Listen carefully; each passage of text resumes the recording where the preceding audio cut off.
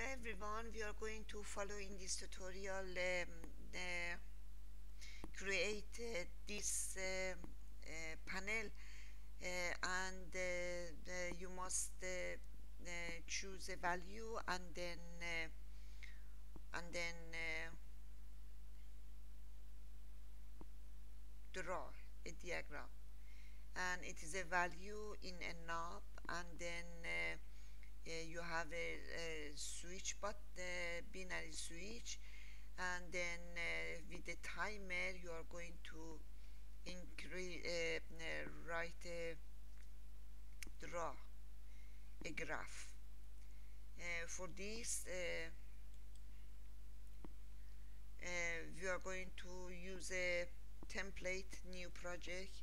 Use a template and it appear a panel and then uh, you are going to right click and use a graph a graph here.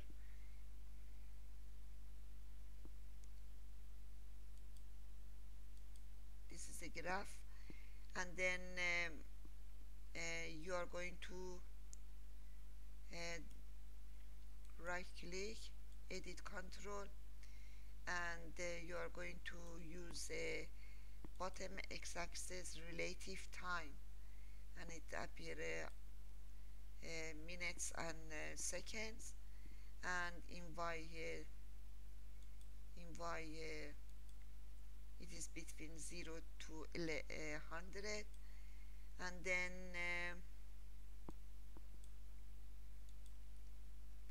you are going to use a tab. And in the first flick you are going to right click numeric and this one dial.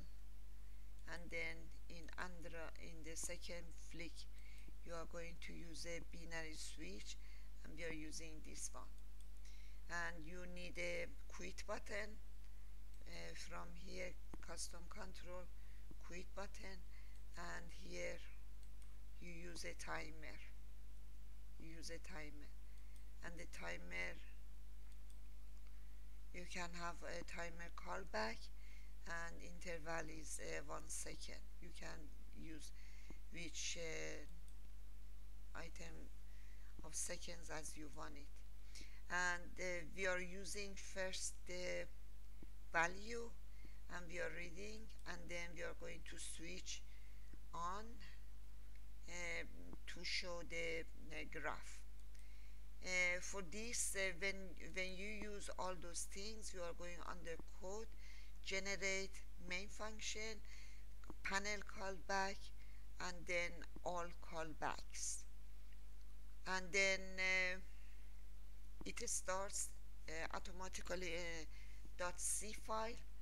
And in .c file you are going to uh, check all those header files are there and uh, you use user int.h and the uh, include function.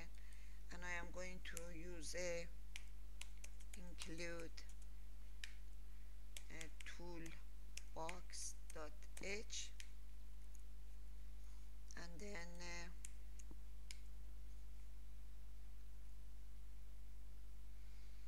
and you have a static that part and that part must be the same. Uh, it is uh, it writes uh, automatically and then in uh, panel callback event close you are going to use that function to terminate the uh, program. And in quit uh, callback it's event commit. It is the, that function to terminate the program and in timer callback you are going to use the time underscore t c time and unsigned in end time and a path name max uh, path length. It is uh, in those uh, uh, header files above. And an integer num n and the file file handle sign uh, amplitude and value. And in event timer tick time of address C C time and end time is unsigned int c time and srand is end time.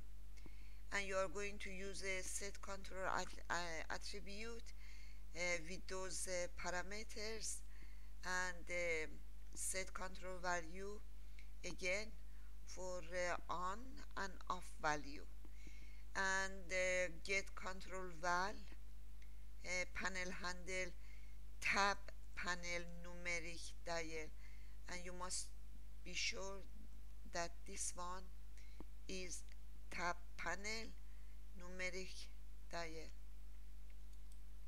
And uh,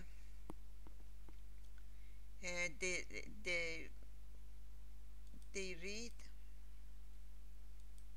from here when you choose a value it appear here and it's going to get this value and put it in the variable value. And amplitude is the run divided by this function multiple by, by value. And sine pattern is uh, 100 elements. Uh, amplitude is that amplitude and it is uh, 180 degrees with 5 cycle and it is a sign it's going to put in sign in this uh, array. And we are going to delete the uh, plot. Uh, it should be clean.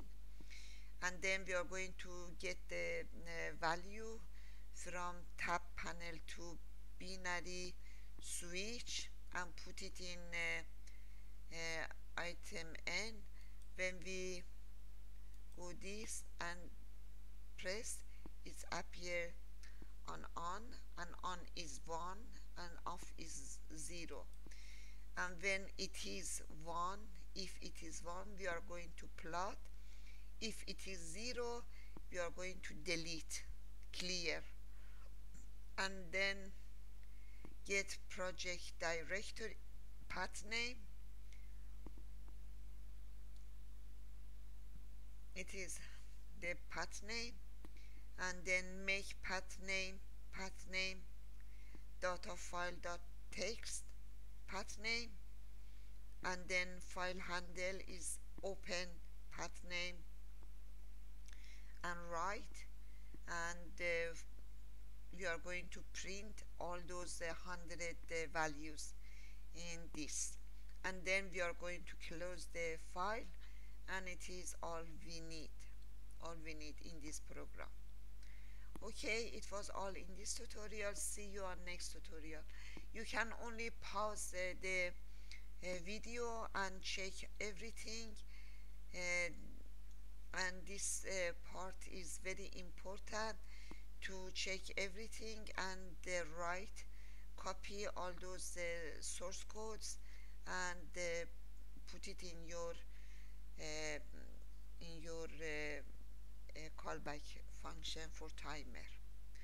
Okay it was all in this tutorial. See you on next tutorial